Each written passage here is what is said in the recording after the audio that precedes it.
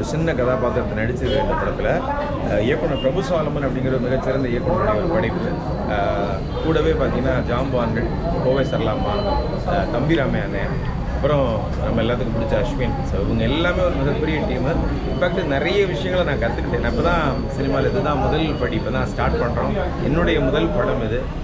So உங்களோட சின்ன கதாபாத்திரம் நடிச்சதுனால எனக்கு ரொம்ப பெருமையாக இருக்குது ஓவரால் ஒரு ஃபேமிலியாக என் குடும்பத்தை வந்து கூப்பிட்டு வந்து நான் படம் பார்த்துருக்கிறேன்.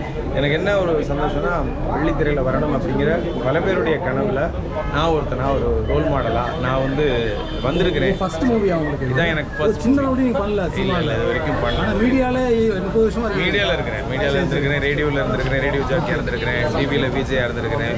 விஜய் டிவி நிகழ்ச்சி தொகுப்பாளர் இப்போ படத்தில் இதுதான் என்னுடைய முதல் படம்.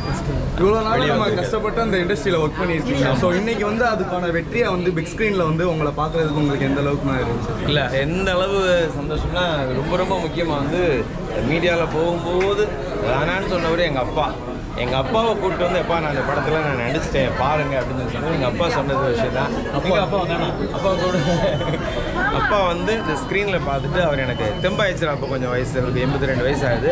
அவரை கூப்பிட்டு வந்து இந்த படத்தில் காட்டியிருக்கிறேன் அப்பா உங்கள் பையனுடைய உழைப்பில் பிக் ஸ்க்ரீனில் வந்துட்டேன்.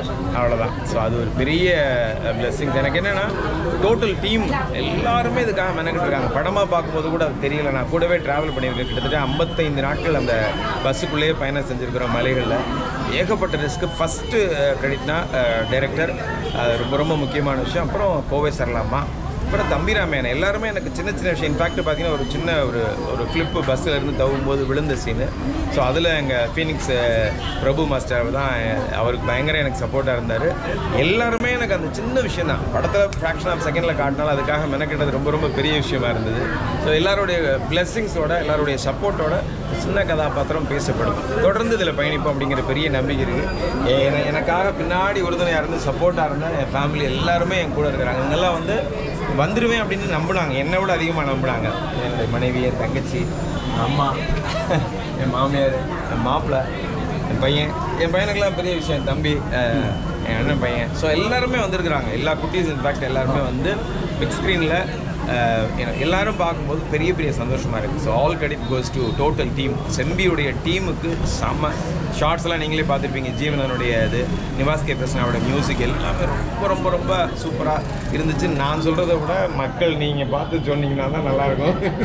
எனக்கு இல்ல பிடிச்சல ரெண்டு பேரும் அழுதுட்டாங்க. வந்த மாதிரி ஒரு நான் எதிரே நான் கிட்டத்தட்ட ஒரு வருஷம் ரிவ்யூ பண்றோம். அழுதுட்டு பேட்டி கொடுக்குறாங்க. அந்த ஒரு ஒரு முக்கியமான சமூக பிரச்சனை. இன்னைக்கு வந்து பெண்களுக்கு நடக்கக்கூடிய அதுவும் குறிப்பாக குழந்தைகள் நடக்கக்கூடிய ஒரு பாலியல் அந்த வன்கொடுமை. அதை வந்து ஒரு ஒரு விழிப்புணர்வோட இந்த மாதிரி சட்டம் இருக்குது சட்டம் உங்களுக்காக துணை இருக்குது அப்படின்னு எத்தனையோ சக்திகள் இருந்தாலும் கூட அதை மீறியும் ஜெயிக்கலாம் முயற்சி பண்ணுங்க நம்பிக்கையோடு இருங்க.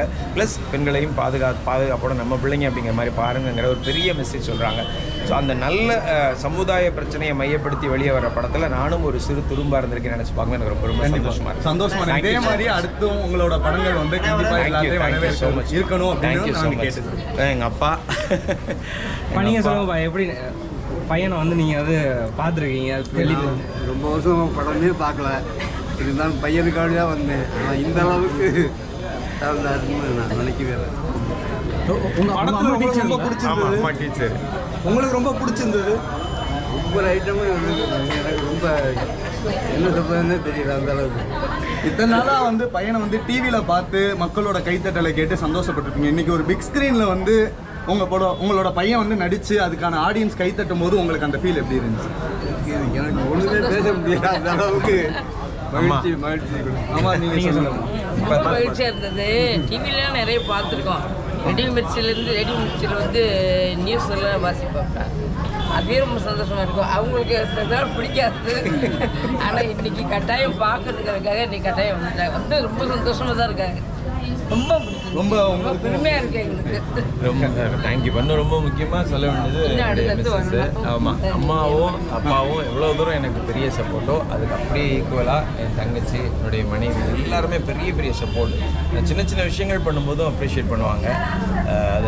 அதாவது என்னென்னா நீங்களாம் என்னுடைய தம்பிகள் அண்ணன் மாதிரி ஃபீல் பண்ணுறதுனால என் மனசில் இருக்க விஷயத்த சொல்கிறேன் இன்ஃபேக்ட் படத்தில் நடிக்கிறதுக்கு முத முத நோ சொன்னவங்களும் இவங்க தான். கடைசி இவங்க சொன்னதுக்கு அப்புறம் தான் எனக்கு இந்த பட வாய்ப்பே கிடச்சது. இவங்க ஒரு ரெண்டாயிரத்தி பதினேழில் ஓகேன்னு சொன்னாங்க. சொன்னதுக்கு பிறகு தான் ஒரு படம் பிரபு சாலமன் சாருடைய ஒரு படத்தில் நடிக்க ஆரம்பித்தேன் அது இன்னொரு படம். அது வெயிட்டிங் அது கண்டிப்பாக அது வரும். அது பிரபு சாலமன் சாரே சொல்லுவார். இந்த படம் செம்பி அதுக்கு முன்னாடி ஒரு சமுதாய பிரச்சனை மையப்படுத்தி வெளியே வந்திருக்காரு. ஸோ என் மனைவி சொல்லி இந்த படம் வந்திருக்கு. எங்கள் அப்பா அம்மாவோட வந்து என் தங்கச்சியோட என் குடும்பத்தோட உறவுகளோட வந்து பார்க்குறது எனக்கு ரொம்ப ரொம்ப சந்தோஷம். ஸோ நீ எப்படிமா இல்லை கனவு நனவாகும். நான் இவருக்கு முப்பது வருஷத்துக்கு அப்புறம் நனவாயிருக்கு. ரொம்ப சந்தோஷம். கண்டிப்பாக வந்து இந்த ஃபீல்டில் நாங்களும் இருக்கிறனால எங்களுக்கும் தெரியும். இந்த ஃபீல்டில் ஸ்ட்ரகிள் பண்ணி எப்படி ரன் பண்ணுறதுங்கிறது ரொம்ப கஷ்டமான ஒரு விஷயம்.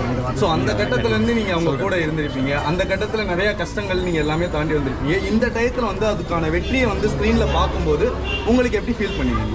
இல்லை இது சந்தோஷமா இருந்ததுன்னு சொன்னா அது வந்து வேர்ட்ஸே கிடையாது. சொல்றதுக்கு வேர்ட்ஸே இல்லை. ட்ரீம் கம் ட்ரூ நான் நினைக்கிறேன்.